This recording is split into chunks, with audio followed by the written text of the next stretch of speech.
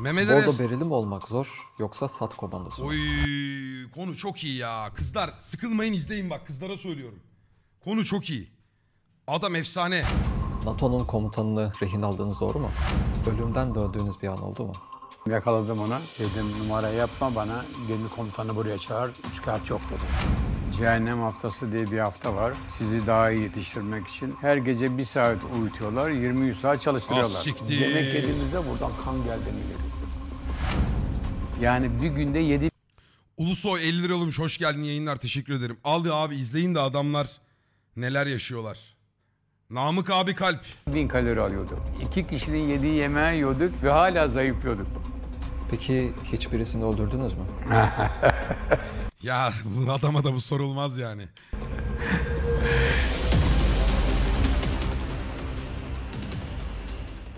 Adım Namık Ekin. Üsküdar'da doğdum. 1940 yılı 16 Üsküdarlı Aralık'ta. mısın be abim? Çocukluğumdan beri spora çok meraklıyım. 5 yaşından beri.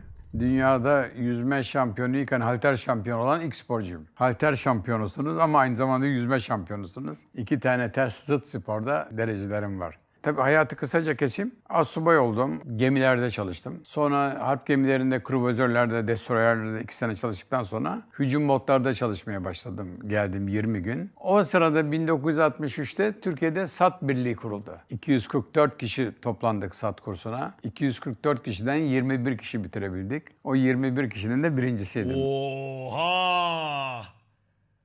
ben. E, orada çok birinci ve güzel şeyler yapınca e, Amerika'da Vietnam yıllarında Amerikan satlarıyla eğitim yapma şansı yakaladım. Hayat hikayesi böyle bir sürü maceralarla dolu. E, birazdan tek tek de gireriz o maceralara.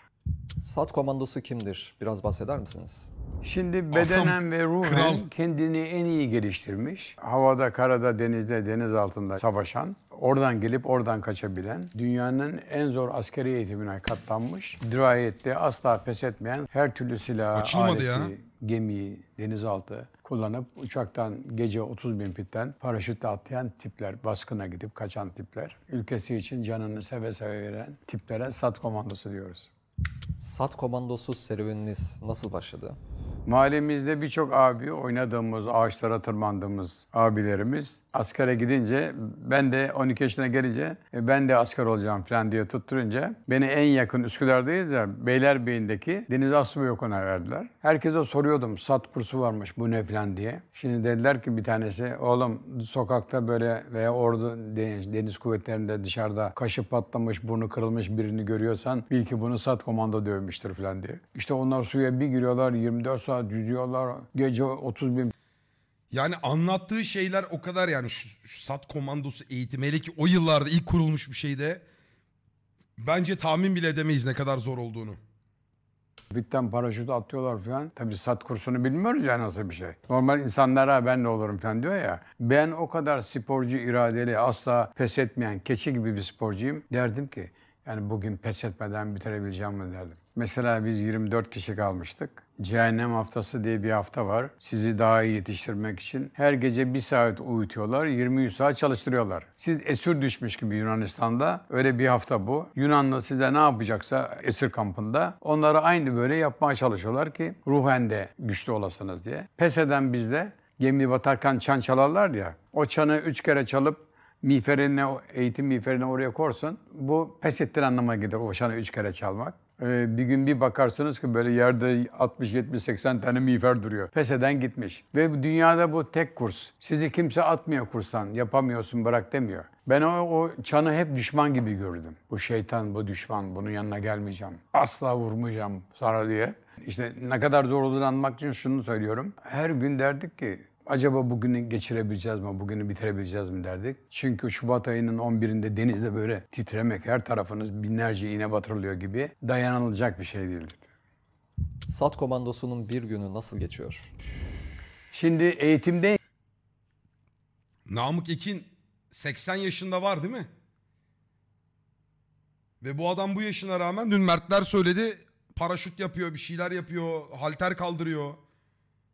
İken tabii şöyle sabah erken kaçıyor, kalkıyor. Tabii Kırklı. yine makineli tüfekler, böyle bomba sesleriyle. Çünkü savaşta hep bu seslere alışık olmanız lazım ya. Sizi hep böyle kaldırıyorlar. Eğer cehennem haftası değilse normal koşu başlıyor. Kondisyon almanız lazım. Performansınızın, dayanıklılığınızın çok iyi olması lazım. Bilhassa kuvvette dayanıklılık. 77. Bir insan bir maratoncu gibi dayanıklı olabilir. Ama gelip de birisinden boğuşurken boğuşamaz. Silahları kaldıramaz. O zodyak botu üç kişi buraya atamaz. Sırtında cephane sandıklarını kaldıramaz. Yani bir maratoncu gibi dayanıklı olacaksın ama böyle bir halterci gibi de sağlam olacaksın. Hadi yakın dövüş dersine. Ya dur bir dakika nefes alalım yok yakın dövüş. Zınk zınk zınk zınk. Nöbetçi arkadan boğma. Ön sıra arkadaşın önde duruyor. Diyelim 30 kişi. 30 kişi arkada. Todok. Boğma hareketi yapıyorsun. Nöbetçi boğma. falan. İple boğma. Geliyorsun ip elinde. Tık tık lan boğma. O da boğulmamaya çalışıyor. Boğulursa pes ediyor zaten. Bırakıyorsun. Sonra sen öne geçiyorsun. O seni boğmaya başlıyor. Yemek yediğimizde buradan kan geldiğini görüyoruz. Öğle yemeğe geldiyse öğle yemeğe. Öğle yemeğe de 7000 kalori. Oha! Öğle yemeği 7000 kalori veriyorlar ki. Yani Ah, bir günde siktir. 7000 kalori alıyorduk. İki kişinin yediği Ha, yemeği günde. yiyorduk ve hala zayıflıyorduk kurs boyunca. Ondan sonra ilk yardım dersleri. Kanama nasıl durdurulacak? Boğulan nasıl ayıltacak? Suni teneffüs dersleri. İnanılmayacak kadar güzel. Ve insan vücudunu öğreniyorsun. Abi gece 12'de gidiyorsun şeye. Dağlar, orman nereye görev verirlerse keşif, baskın falan. Onu yapıyorsun. Üçte dönüyorsun. Geldin mi? O yatıyoruz falan derken yok. Dershanede oturtuyor. Yaptığımız hatalar anlatılıyor. Bak sen burada karşıya geçtin. Bir tanesi sigara içmişti. Sigarayı yedirdiler ona. Adam dedi ki sigara içiyorsun. İçiyorum efendim. Çıkar sigarayı al bir tanesini dedi. Herkes ne yapacağını merak ediyor. At ağzına. At ağzına ye bunu dedi. Bir taneniz sigara içerse yedi taneniz yakalanır ölür dedi. Ben gördüm dedi. O da saklandığı yerden izliyor nasıl yapıyoruz sen böyle. E öyle gece operasyonu analizler oluyor falan. Sabahleyin kalktın ya, üçte oldu ya bu. Üç buçukta uyudun ya, sabahleyin beş buçukta kalkıp koşu başlıyor. Ha, siktir Karadan gece Be- beden- atma gibi. Birçok enteresan şeyler Beden var. kaldırmaz ya. Eğitimde yaşadığınız, unutamadığınız bir anınızı anlatır mısınız? Baya böyle e, enteresan bir şey anlatayım mesela. O ara biz Abi hiç SAP'ta eğitim unutmuyorum. yaparken Gölcük'te orada şey var tersane. Bütün gemiler gidiyor tamir olurken bir denizaltının kapağı düşmüş. Dalgıç arıyorlar ya diyorlar dalgıçlar çağırana kadar İstanbul'dan burada satlar var onlar dalsın diye. Mustafa Tosun arkadaşım daha ölmemişti o zaman. Dediler ki şey iki sat çağıralım onlar dalar alır çıkarırlar dedi. Tersanelere gittik. Mustafa ile neyse balık adam hepsine girdik atlayacağız. Şimdi giyinirken Mustafa bana işte böyle yapıyor ya atlayalım falan dedi. İki metrelik bir şey yani balık adamlar atlar ya böyle maskeyi tutarak. Ya dedim atlamayalım inelim. Biz hep talebelere şunu öğretiriz. Görmediğin altını görmediğin suya atlama in. Orada kaya mı var, taş mı var, demir mi var bilmiyorsun ya. Ama bana Mustafa dedi ki ya atlayalım dedi işte buradan da belli denizaltı burada. Burası derin dedi falan dedi. Böyle giyinirken bana böyle yani bir, bir şey yaptı, dokundu dengeden. Ben böyle 15 santim bu tarafa kaydım. O da burada ya. ikimiz birden atladık. O buraya atladı, ben buraya atladım. Ama bende böyle cız etti bir şey. Ondan sonra suyun altına girince tabii görüyorsun. Bir kafamı aldım. Böyle 4 metre boyunda sivri bir demir kazık iskele. Paslı. Böyle demirle çıkıyor ama yanlarından da sivri yerler Bunu unutturmayın bana. Babamın böyle bir anısı var. Ee, slow var chatte kardeşim. Aynen Antalya'da iskeleden atlıyor. Aynı şeyi yaşıyor ama atlayarak yaşıyor öyle kısa bir mesafeden değil. Unutturmayın babam anlatsın onu. Çok ciddiyim. Hala bacağında izler duruyor. Fotoğrafını çekerim. Böyle boylu boyuna yarıklar. Çıkıyor. Yani daha evvel orası iskeleymiş. Çıkarmışlar yanına beton iskele yapmışlar ama onları kesmemişler. Buradan böyle cur cur sıyırınca Mustafa'ya gittim böyle yaptım. Böyle yaptı.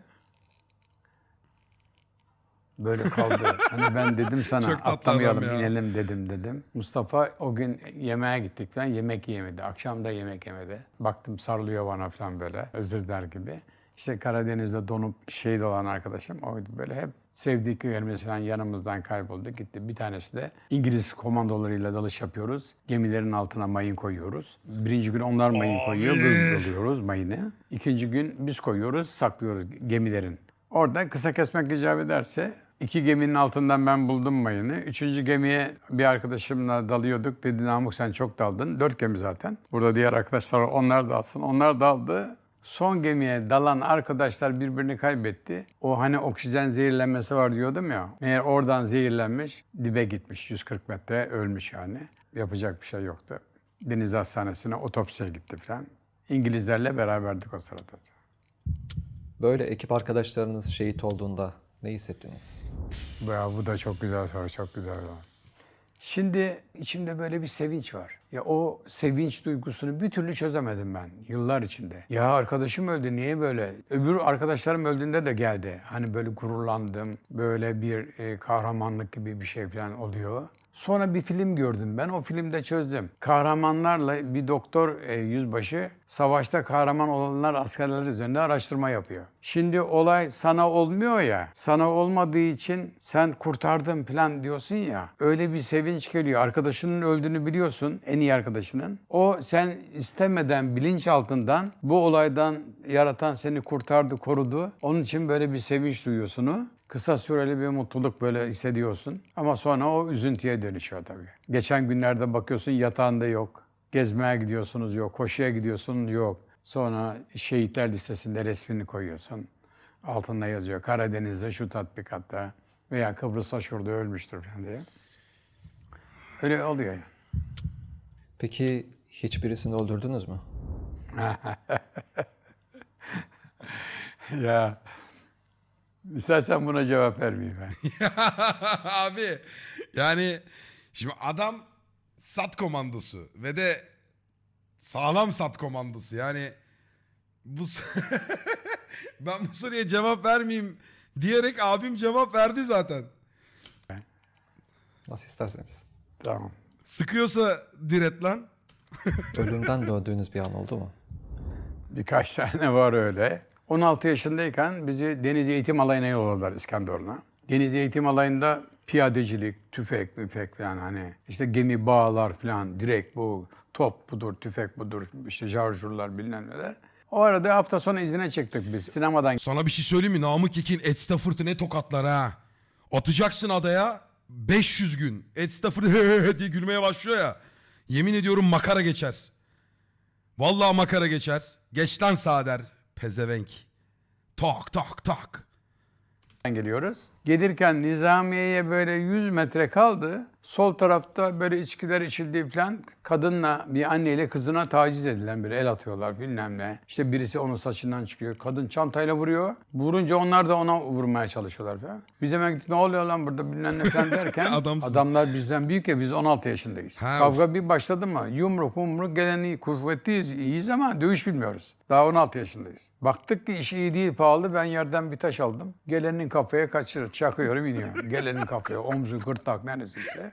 O sırada Gırtlağı bile vurmuş. bizi gördüğü inzibatlar şeyde kapıda nizamiye diyelim. Düdükler ötmeye başlayınca bunlar kaçmaya başlayınca hemen biz de birliğe ettik. içeri girdik. İkinci bölüye girdim ben. Herkes böyle bakıyor bana. Normal böyle bakarsınız ya beyaz üniforma. bıçaklandı mı acaba? Ben de böyle bir baktım.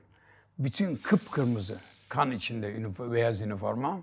Meğerse biz bıçağı yemişiz. Kalbimin bir buçuk santim altında. Ondan sonra hemen beni revire yatırdılar falan tamponlar mamponlar falan. Böyle yattığım zaman şurada da pencere var. Arkadaşlarım böyle kötü gözlerle bakıyor ya. Kan fışkırırken buradan. Dedim Namık gidiyorsun. Soruya cevap galiba. Hemen tampon koydular falan. Bana nöbetçi gocuğu girdiler siyah. içi koyun postu. Doktor demiş ki bunun yanına bir nöbetçi verin. Şoför doğru sahildeki şey deniz hastanesine. Orada ancak müdahale edilebilir diye. Birlikten çıktık. Sola döndük aşağı giderken sağ tekerlek bir şey bir vurdu. Dönmeye başladı cip. Tam vurdum vur dönüyor filmlerdeki gibi. Cipleri biliyorsun üstü açık. Ben gitmişim tabii. Bir uyandım kendime hemen elim buraya gitti. Tamponlar falan var. Böyle bir döndüm. Burada birisi yatıyor. Alçılar içinde ayak havada, baş havada. Sonra buraya döndüm. Biri yatıyor. Ayak sarılı yukarıda. Gelmiş bembeyaz falan böyle. Sonra uyudum. Herhalde ilaç falan verdiler ki bana. Yine uyudum. Sabahleyin bir kalktım. Burada da kimse yok yatakta. Bu yatakta da kimse yok.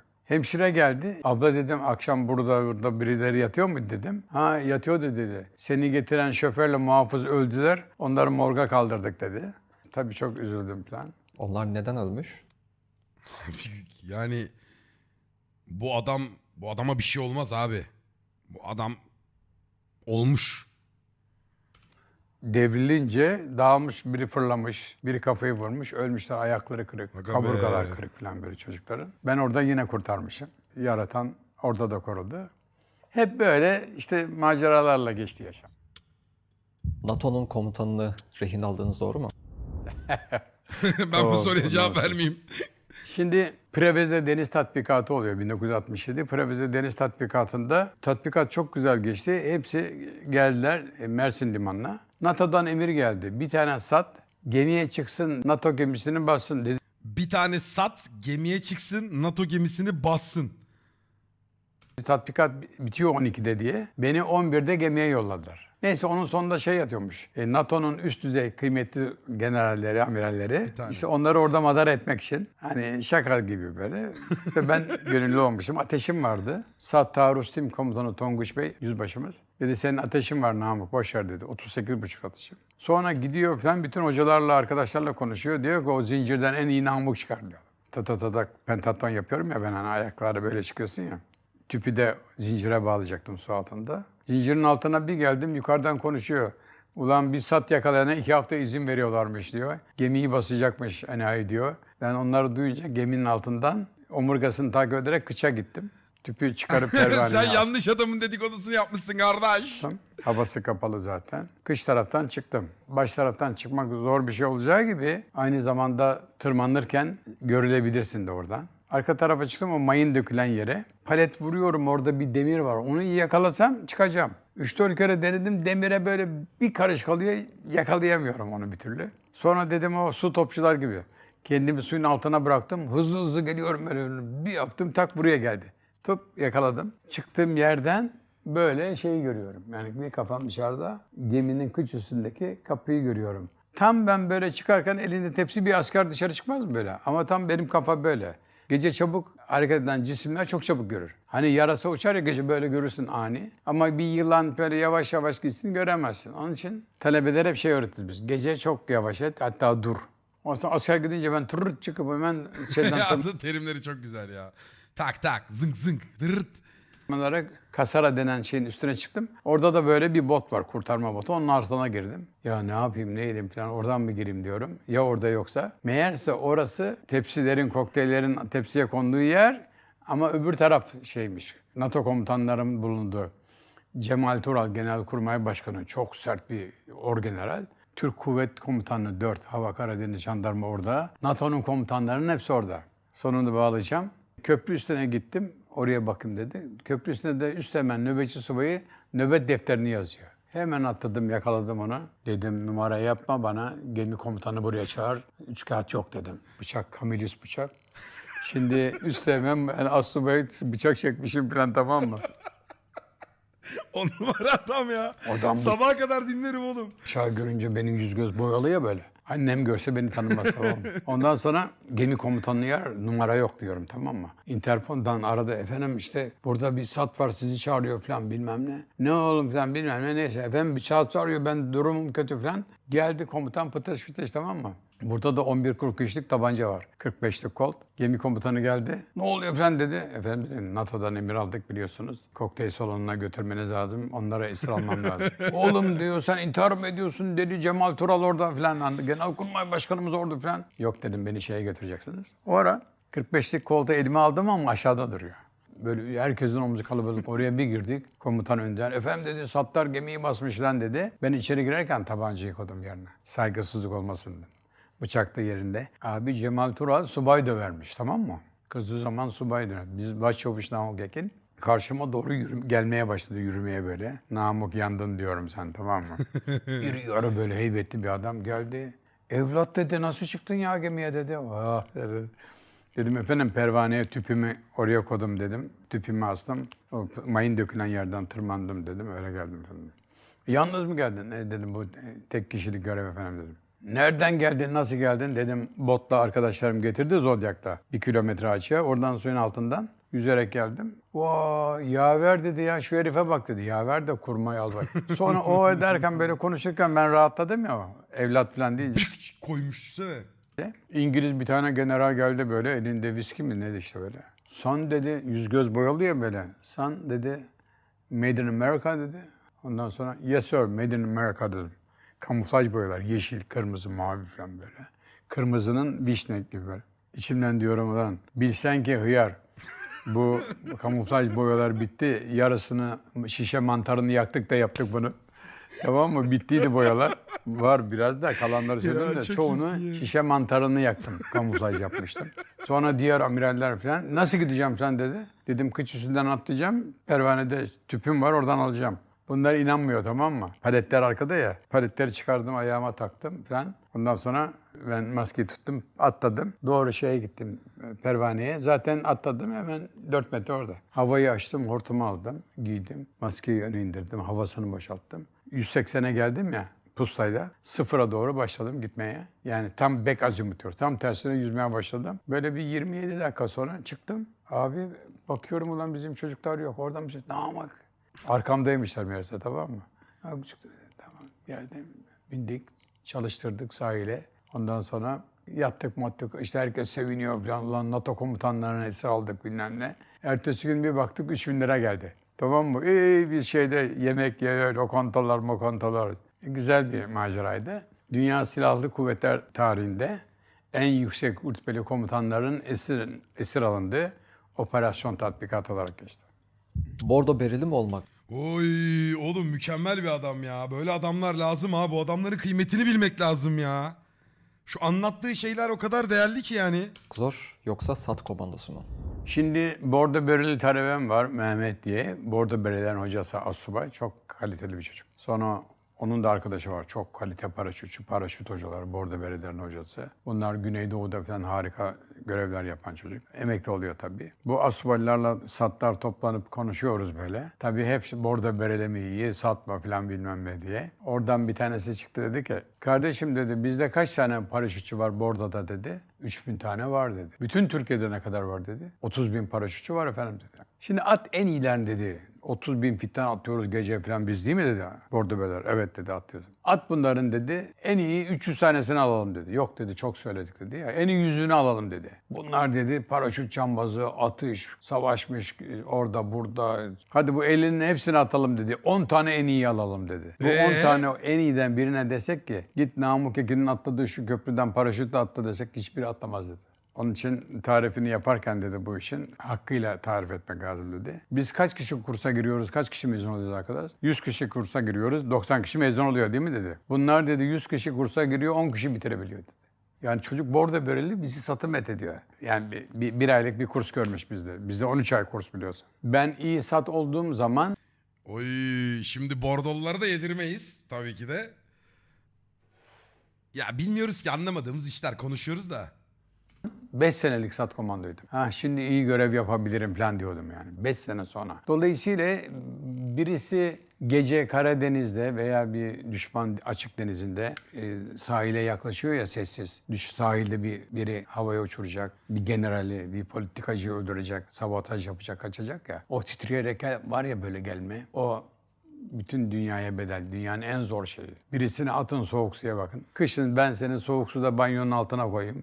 Kışın Şubat ayında. Yıkan bakalım kaç dakika yıkanıyorsun.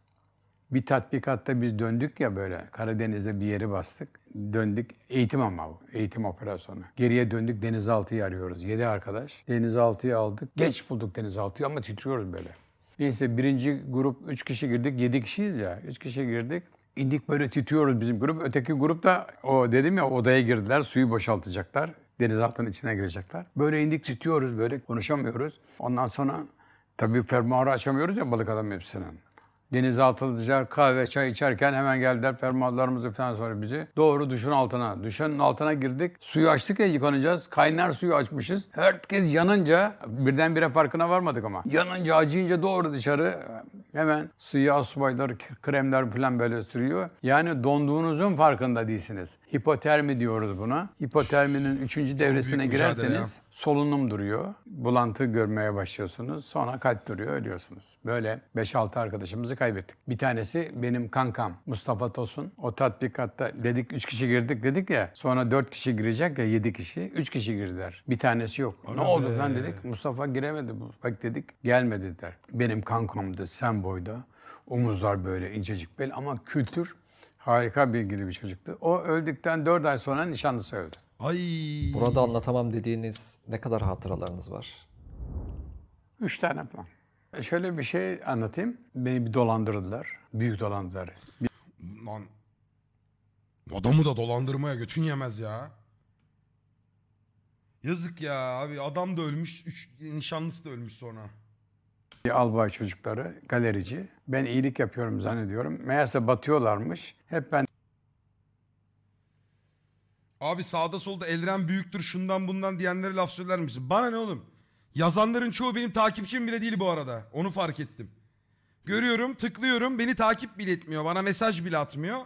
Ee, bu çıktı bir de şimdi. Hani adam beni bilmiyor bile yazıyor amına koyayım. Altında tonla kavga. Çocuk bir cümlesiyle milleti birbirine kırdırıyor orada. Hiç sikimde değil yani hani. Bana ne? Ben de hoşlaşmıyorum yani. Benden çek, para, işte araba bilmem ne istiyorlar falan. Tabii bir sürü olaylar yapmışlar. Benim haberim yokken araba kredileri almış. Arkadaşlar o tip şeyleri kovalayamıyorum artık ya. Umurumda da değil yani valla. Giriyorum bazen makara geçiyorum kendim. Ee, işte boş yayıncı yazıyorum. Bilmem ne diyorum. Cart curt diyorum. Ee, saçma saçma muhabbetler. yani. İmzalamışlar para falan. Yani araba almak için onlarda kağıtlarım var ya evraklar, imametler, vekalet şu bu falan. Hollanda Havalimanı'ndan emekli olurken bana ne istersin dediler hediye. Pilotun yanında titanyum bir balta vardı. Onu isterim dedim. Yani verirseniz. Bir de ofiste bir çiçek vardı böyle yüksek onu. Verdiler hakikaten. O baltayı aldım dolandırıldım anlayınca. Titanyum balta. Titanyum Eve balta. haciz geldiler Ataköy'de. Ondan sonra baltayı aldım. İkisini öldürmeye gidiyorum mesela. Arkamdan hemen eşim telefon ediyor onlara. Kaçın Namık abiniz geliyor Yani normal abi. Benim de beklediğim hareket buydu bu arada. Baltayla diyor. Galeri. Ben içeri bir girdim daha bunları görmeden. SLK Mercedes var son model. Hadi bu konuyla ilgili bir şey söyleyeyim. Madem açtınız arkadaşlar hep söylüyorum. Yine söylemeye devam edeceğim. Çok da uzatmadan. Biri birinden, bir insanoğlu bir diğer insanoğlundan üstün değildir. Sadece tercih ettiğiniz ve sevdiğiniz insanlar vardır. Sevdiğin insanları veya sevdiğin içeriği bir başkasıyla public bir yerde kıyaslamak sadece toksikliktir. Anlatabildim mi? Sevdiğin adamı seversin, izlersin. Anladın mı? Beni sevmek zorunda değilsin. Diğerini sevmek zorunda değilsin. Bu insan doğasında olan bir şey. Bu kadar basit bir şey. Kıyaslama yapmak içinizde olur. İçinizde döndürün onu. Bizimkilere söylüyorum. Yani biriyle birini kıyaslamak zorunda değilsiniz. Artık bu kıyaslama mevzularının boku çıktı. Herkes kendinden sorumlu abi. Yani kalkıp da orada sen Eliren büyüktür bundan yazdığında, Eliren büyüktür, Eliren Twitch'ten büyük. Yani komik abi yani. Hani Böyle şeyler yazmayın. Sen beni seviyorsan, beni diğer yayıncılardan üstün görüyorsan aynı şekilde beni izlemeyip bir başka yayıncıyı izleyen ve yayıncılığı Elren'den daha iyidir diyen insanlar da var. Bunu unutmayın. Herkes sevdiği, saydığı insanları, izlemekten keyif aldığı insanları izliyor ve o insanlar o izleyici için herkesten daha iyidir. Bunu kalkıp da yazmanın bir lüzumu yok. Aynı şekilde negatif şeylerde de öyle. Ya bu tip kıyaslamalara falan girmeyin. Milleti toksiklemeyin yani. Yapanlara söylüyorum. Ha bunu altında yapan insanlar varsa da eee, gidip adam ne konuştu da hala yapıyorsunuz diye demeyin. Bu tip sayfaların adminlerine söylüyorum. Sayfa sahiplerine söylüyorum. Silin abi ya da yorumları kapatın yani. Bu kadar basit bir şey. Ya her dönem her hafta bir şey çıkıyor amına koyayım. Biri bitiyor diğeri başlıyor. Biri bitiyor. Tamam belki sevdiğinden yazıyorsun oraya onu ama yapma. Diğer yayıncı orayı girdiği zaman gördüğü zaman triggerlanır. Anladın mı? Hoşuna gitmez belki. Boş ver oğlum ben senin için iyiysem senin için iyi kalayım. Bu kadar basit. Bir koyuyorum. Ortadaki direk var ya iki kapıyı tutan. Cık gidiyor. 740 mı ne BMW'ler var ya onların o kaportaya zoom vuruyorum bıçak gibi kesiyor. Aşağı bir dakika dur şurayı bir dinlemem lazım. bir de ofiste bir çiçek vardı böyle yüksek onu verdiler hakikaten. O baltayı aldım dolandırıldım anlayınca. Titanyum balta. Eve haciz geldiler Ataköy'de. Ondan sonra baltayı aldım. İkisini öldürmeye gidiyorum mesela.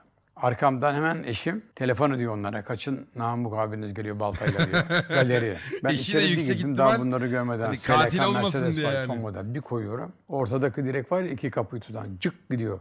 740 mı ne BMW'ler var ya onların o kaportaya zoom vuruyorum bıçak gibi kesiyor. Aşağı inene kadar merdivenden bilgisayarlar, kompütürler, güvenlik kameraları her şeyi böyle dağıtarak gidiyorum. Odalarına bir girdim yoklar. Odalarındaki kıymetli eşyalar var ya bilgisayarlar. Ayağımda Allah'tan spor ayakkabı var. Bilgisayarı bir vuruyorum kıvılcımlar çıkıyor. Çarpılmıyorum. Kalın lastik şey var ayağımda. Kızım da benden beraber. Kızım bir karate tekmesi atıyor. Güvenlik kamerasını deviriyor. Oğlum müthiş bir aile ya. Oğlum adamın kızı karate tekme atarak güvenlik kameralarını yok ediyor ya. Mükemmel oğlum. Allah'tan kaçmışlar eşim telefon etmiş ki orada büyük katliam yapabilirdim. Sonra polisler geldi içeri. Üç tane polis. Onlara da ben zınk, sivilim kuan, artık. zank. Orduda değilim. Ama böyle bir moda girmişim ki polislere diyorum ki ben askerim gidin inzibat subayı getirin diyor. Halbuki asker falan değilim yani o moda girmişim. Ondan sonra babası geldi falan. Polisler beni bıraktı. Gazeteciler. Gazetelerde Namık Ekin trilyonluk dolandırıldı bilmem ne. Yardım ettiği insanlar tarafından falan diye. Yaşamamın en kötü anları ne derseniz o dolandırıldıktan Klaus, teşekkür sonra ederim, devam tane. eden mahkemeler ve eve gelen hacizler. Ben yapmadım halde eve gelen bir sürü hacizler. Eğer ben bu sat terbiyesiyle yetişmeseydim intiharlık durumdaydım. Hatta bir süre araba Abi falan senin para adam almışlar ya intihar bankalardan etmez benim abim. adıma. Ee, Benim imzamı taklit etmişler. Beni götürdüler adli tıpa imzamı attırıp hani o imza bana ait mi değil mi diye ayakta 40 tane oturarak 40 tane attılar. Benim çıkmadı tabii. O arada e, adli tıpta bir profesör çok eskiden bana spora gelirdi. Bakırköy'de salon ya benim. Namık abi hocam ne oldu falan. Dedik böyle böyle raporlar var ya bir baktı böyle. Yeminle dedi bunlar bana yapılsaydı dedi ben intihar ederdim abi dedi. Bütün talebelere, arkadaşlara, bu programları seyredenlere şunu diyorum. Babamın hep lafıdır. Holmes'u çağır ona da söylemişimdir başkasına da. Arkadaşlar gerçekten söylüyorum. Namık abim söylüyor zaten de. Kimseye kefil olmayın.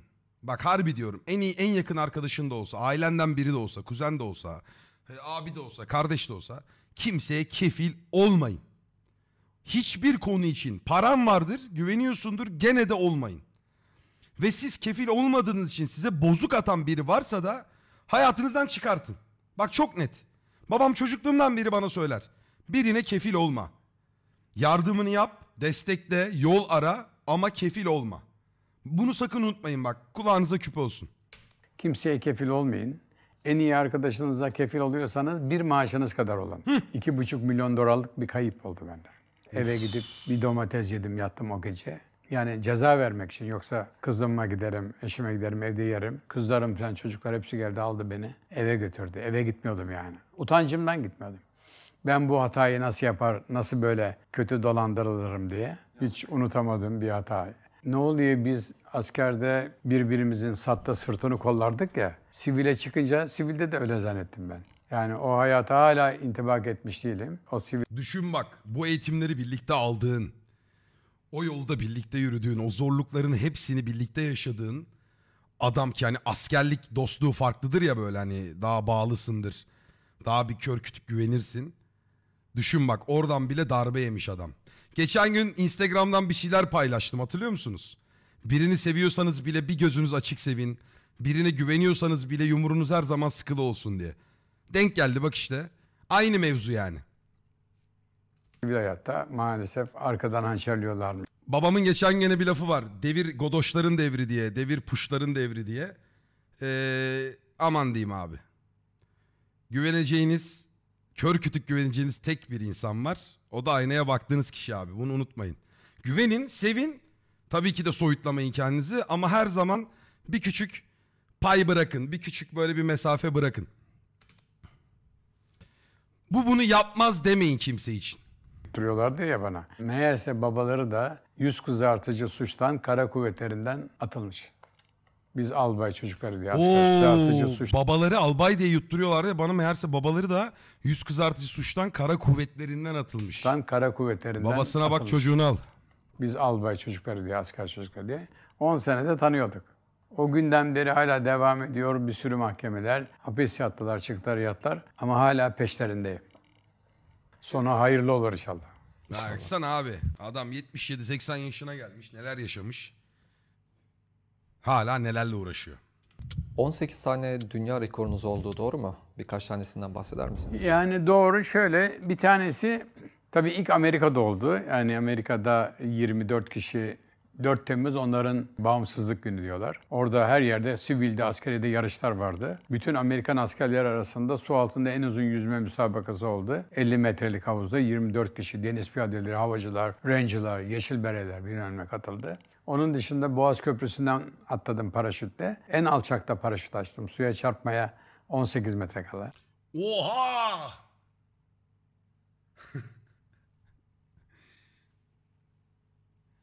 Ali 20 lira yollamış. Abim Allah için Namık abiye rica et bir yayına konuk al. Ama ben boynumu kaldıramam adamın yanında ya. 18 metre kala paraşüt açmak ne demek abim? E, Fatih Sultan Mehmet'ten de atladım. Üç kere Karadeniz'den dalıp suyun altına, Boğaz'a girip Boğaz'dan geçip bir Sarayburnu'na bir de Ağır Kapı'ya kadar yani bir denizden öbür denize yüzmem var. Rodos Adası'ndan Marmaris'e 24 saat 53 dakikada yüzmem var. 24 saatte 4627 judocu arkadaşımı atarak devamlı. Judo atış rekorum var. 24 saatte 506 ton ağırlık kaldırarak devamlı e, ağırlık kaldırma rekorum var ki hepsi 70 yaşın üzerindeydi. Onun dışında 5 gün 5 gece Vay, bir a- a- akvaryumda etmek kalarak istemiyorum. havuzda. Ama beş Saygımdan metrede. şu an Beş bir gün şey kalarak yorumlarken dünya küfür rekoru bile kırdım. demiyorum. Benden sonra Amerikalı sihirbaz David kim Blaine lan? 7 gün 7 gece kaldı. Ama 2.30 metrede. Ben 5 metrede kaldım. Sualtı rekorları derinlikte ölçülüyor ya. Şimdi onun yaptığı 7 günlük 7 gecelik şeyi rekoru 9 gün 9 gece 9 saat için antrenmanlar yapıyorum. İnşallah iyi olur. Böyle yapacağım yaşıma uygun 5-6 rekor daha var. İnşallah olur ama bunların takdir edilmesi. Çünkü ben bunları ülkemi tanıtmak için yapıyorum. Türk sporunu, sporcusunu tanıtmak için yapıyorum. Sonunda bir kuruş menfaatim olmadığı gibi bir rekorda 26 bin lira kendim harcadım. Niye? O mirillik felçlerine tekerlekli sandalye temin etmek için suya girmiştim. 5 gün 5 gece. Kimse sponsor çıkıp tekerlekli sandalye almadı. Ben 26 bin liralık tekerlekli Şu an kendimden utandım ya. sandalye aldım. E, O da ben organizasyonun işte parası falan şunlar bunlar. Orası önemli değil ama yani takdir edilmeli. Birileri sizi çağırıp yavrum bravo falan demeli. Aynı o NATO gemisini basıp bütün kuvvet komutanlarının, NATO komutanları, Genelkurmay Başkanı'na bastığında nasıl sarıldılar öptüler. Bir yerlere çağrılıp birisinin sarılıp öpmesi tabii onur verici bir şey ve moral verici bir şey olabilir. İnşallah bundan sonra olur diyelim. İnşallah. 7 gün 7 gece mezarda kalmak gibi yeni bir dünya rekoru denemesiniz varmış. Ya öyle işte derler ya hocalarımız ve aileler. Bu satları hep manyaklardan mı seçiyorlar derler. E, Böyle bir rekoru David Blaine şeyde mezarda e, Buried Alive diye yazarsa çıkar herkes. E, mezara gömdü kendini ama üstü toprakta örtülmedi. Bir camdan görüyorsunuz. Onun altında 7 gün yaşadı. Suyla yalnız. Çünkü katı madde yiyince tuvalete çıkmanız icap ediyor ya büyük bir şey. Şimdi bu üstü açıktı. Herkes gelip oradan bakıyordu. Ben toprakla örtülmesini örtülmüş şekilde yani aynı mezardaki gibi yapacağım. Zaten deneyip de yapamadığım Rabbimin yardımlarıyla hiçbir rekorum olmadı. E bunu da yapacağım inanıyorum. En büyük zorluk tehlike benim ailemi ikna edebilmek. Evet o zor. Aile Abi ikili olmuyor herhalde. ne diyeyim Olacak ya, inşallah. diyecek bir şey yok ki. Bizim takipçi kardeşlerimizin de bazı soruları var. Onları da sormak istiyoruz. Tabii. Abi kaç santim diye sorar sormuştur. Yüzde yüz yazmıştır biri. Bir kardeşimiz şöyle bir soru sormuş. Allah'ın sizi koruduğunu hissettiğiniz bir anınız var mı? Gemideydi gene asubay çıktık. E, Ben güverte asubayı oldum. Hani güverte asubayı sonar, radar, telsizini onları çalıştıran asubaylar. E, geminin baş tarafında biz kıdemsiziz ya yeni gemiye çıkmışız. Nöbetçi asubay arkadaşımız şeyden kayarak indi aşağıya tabancayı çekti. Nöbetçi asubayla yazacak olduğu var. Bir çekti bir ateş etti don. En sondaki arkadaş bağırdı ah falan diye. Yemek yerken oluyor bağırıyor. Burada iki tane uzun boylu arkadaşım var. 1.80-85. Ben 1.70'lik. Burada yine bir uzun arkadaş. Şimdi ah dedi ya ama ben buram yandı buramı tuttum. Öteki bilmem ne falan herkes korktu. Ne oluyor oğlum? Neyse savcı geldi çağırdılar. Çocuğu hemen hastaneye götürdüler zaten. Askeri savcı geldi. Oturun dedi anlatın nasıl oldu bir olay. Şimdi savcı da şok oldu gülmekten. Ne oldu efendim dedi. Tabancayı ateşledi böyle dedi. Sigara vermeyeni vururum dedi. Şimdi en öndeki arkadaşın böyle senin gömlek gibi bak buruşuk ya burası. Mermi buradan girdi, buradan çıktı, buradan girdi, buradan çıktı. Hiç şey yok. Dört tane delik var. Ötekine soruyor uzun boylu olana. Efendim ben sürahiye uzanıyordum diyor. Benim burayı deldi diyor. Allah Bana diyor efendim benim gördüğünüz gibi burası yanık. Yanık böyle o ya. Ama değmemiş mermi yani. O geçiş suratinden yakmış. Uzun yıllar burada bembeyaz böyle bir şey vardı. Sonra ötekine dedi sen ne yaptın dedi. Ben efendim dedi ekmeğe kısa boylu böyle bir çocuk. Onun bu gömleğin buradan delik girmiş. Ötekine dedi sen ne yapıyorsun? E, yok artık. dedi. Ben dedi elimi uzattım efendim buradan geçti dedi. Allah Allah. Şeye Bak bu Allah Allah hani inanmakla inanmamak arasında kalan bir adamın hani böyle he- hem çok saygı duyuyor hem de ya yok artık amına koyayım diyecekken diyememe ifadesi. de Cengiz'in de koluna giriyor, çıkıyor. Elektronik ambarının 3 milimlik saçını deliyor, mermiyi orada buldular, çekirdeğini. Yani yaratan ya. orada da korudu beni. Her zaman olduğu gibi. Çok çok çok tehlikeli bir şeydi yani. B- bir ekmeğe uzansam veya suya uzansam gırtlaktan girecek benim buradan çıkacak. Bir takipçi kardeşimizin sorusu da şu. SAT komandası olmak için neler yapmamız lazım? Ya da tavsiye eder misiniz? Şimdi tabii denizci veya işte deniz piyade falan e, muazzaf personelinden alıyorlar. Belki ileride kanun çıkacak. Hani bu uzmanlardan da alma ihtimalleri var. Ben uzmanlardan almalarını da tavsiye ederim. Neden? Mesela sivilde çocuk balık adam oluyor, paraşütçü falan oluyor. E zaten hazır. Komando taktiklerini yüzme, şu koşular maçlarda öğretince daha hazır olabiliyor çocuklar. Buna gelmek için önce böyle uzun koşular, yumuşak tempoda ve önce mesela 300 metre yüzme, sonra 400 metre, 500 metre falan. E insan 1 mil yüzerse yani 1852 metre, 7 mili de yüzer. Yavaş yavaş yüzmeleri artırmaları lazım. Sprintler, sürat koşuları iyi gelir. Muhakkak barfix'te kol çekmeler, şınav hareketleri, dumbbell'larla kol çekmeler, ellerinde ağırlık çöküp zıplamalar falan, me- mekik gibi hareketler yaparsa oraya geldiği zaman pek fazla sıkıntı çekmez. Ama bütün mesele irade. Asla Aynen pes öyle. etmeme duygusu. Fizi- yani fizikle ben bitmiyor bu iş. Ben ne yaparlarsa yap- yapsınlar bu kursu bitireceğim. Çanı çalmayacağım, şapkamı oraya koymayacağım diye kendini şartlandırması lazım. Ruh meselesi. Şöyle bir soru sormuş kardeşimiz. Asr-ı saadette yaşasaydınız, Efendimiz sallallahu aleyhi ve sellemin ordusunda olsaydınız ne hissederdiniz?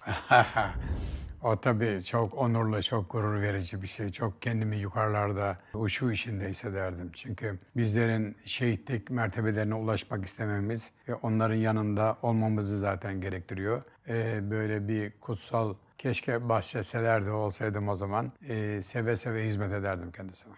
Allah razı olsun. Bir kardeşimiz de şöyle bir soru sormuş. Yeniden bir meslek seçecek olsa E, bu yine de soruyu bunu çok seçer merak ediyorum. Ah, cevabını bil. Ya Uhud'la ne ilgisi var şimdi ya?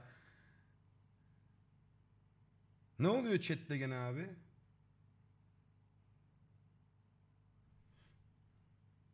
Ya oğlum kanal dini kanaldır. Dini bir soru sorabilirler. Niye bir anda... Bildiği halde sormuş herhalde arkadaş. Allah. 10 kere dünyaya Allah. gelsem 10 kere deseler ki Ortanız bu mesleği ya." yapar mısın? Seve seve koşar yaparım. Orayı çok seviyorum. Orada çok değerli, kıymetli insanlar yetişiyor. Ne var oğlum? Ayıp mı yani Allah Allah? İnanılmaz bazı arkadaşlar. Vallahi anlamıyorum yani. Ve yetişecek. O birliğin kıymeti bilinmeli ve e, daha çok eleman, daha çok imkan sağlanmalı ki çok daha iyi şeyler yetişsin. Çünkü şeyinde hep şunu derler, tek kişilik ordu. Hepsi gidip bir geminin altına mayın koyup 300 kişiyi öldürebiliyor. Bir cephaneliğe gidip mayın koyup gizli cephaneliği uçurup e, işte yüzlerce insana düşmanı diyelim ben artık. Çünkü artık o seni öldürmek istiyor. Sen onu Tamam tamam uzatmayın hadi. öldürmen lazım. O yüzden e, bu harika Bir birliğin için çok şey küçücük bir parçası olmaktan gurur diyorum. Dinleyicilerimize son olarak bir şeyler söylemek ister misiniz? Söyleyeceğim son kelimelerden birisi de böylesine güzel sözler köşkü adındaki bir yapım ve yapımcıların olduğu, buradaki harika insanların içinde bulunmaktan, harika sorulara cevap vermekten ve harika kardeşlerimle tanışmaktan son derece memnunum. Eğer bana deselerdi ki böyle bir grup var, böyle bir program var, Sözler Köşkü diye bir şey var diye, inanın bu kadar olacağını tahmin etmiyordum. Böyle bir hizmet verdiğiniz için e, size ülkem, ulusum ve SAT komandoları adına sonsuz teşekkür ediyorum. Allah razı olsun. Mükemmel bir adammış ya. Ülkede neden böyle adam gibi adamlar değer görmüyor? Adam tekerlekli sandalyeye sponsor bulamadım diyor. Oysa ne zenginler var.